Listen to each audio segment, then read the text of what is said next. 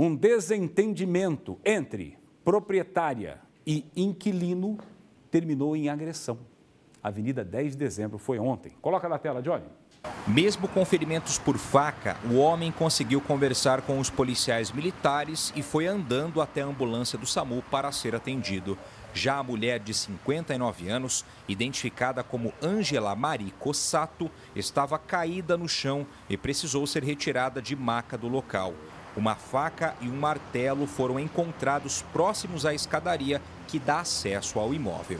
O caso foi registrado aqui nestas kitnets localizadas na rua Adriático, às margens da Avenida 10 de dezembro. Segundo informações, o homem seria inquilino da mulher e desentendimento entre os dois, inclusive com troca de ofensas, estavam sendo registrados desde o dia anterior. Ali, segundo o rapaz, ela estava surtada e veio agredindo ele com uma martelada e posteriormente com uma facada na região do abdômen.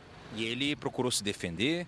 Ele, segundo ele, se defendeu com dando uma capacetada nela e, e tentando derrubar. Edilson Braga, de 65 anos, estava a caminho do trabalho como entregador. A moto em que ele usava teve que ser trancada pelo enfermeiro do SAMU. O SEAT afirma que, devido ao uso de arma branca, o desentendimento poderia ter tido um desfecho muito pior. Ele foi encaminhado para o evangélico com ferimento na região do abdômen, né? com um ferimento incisivo ali de uma faca.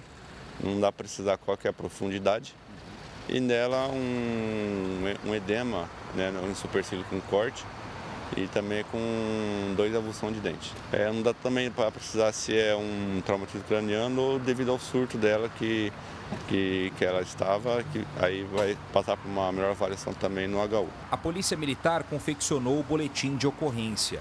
No entanto, ficará a cargo do delegado de plantão decidir se os envolvidos no caso vão prestar depoimento. Até o momento, a Polícia Militar não conseguiu ouvir o relato dessa senhora.